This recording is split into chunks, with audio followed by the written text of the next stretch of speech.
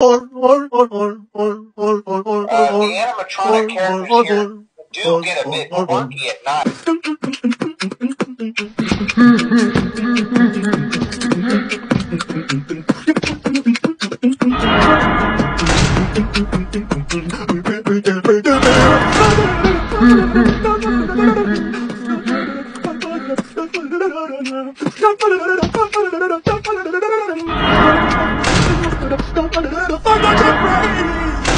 That's where I wanna be. Mm-hmm.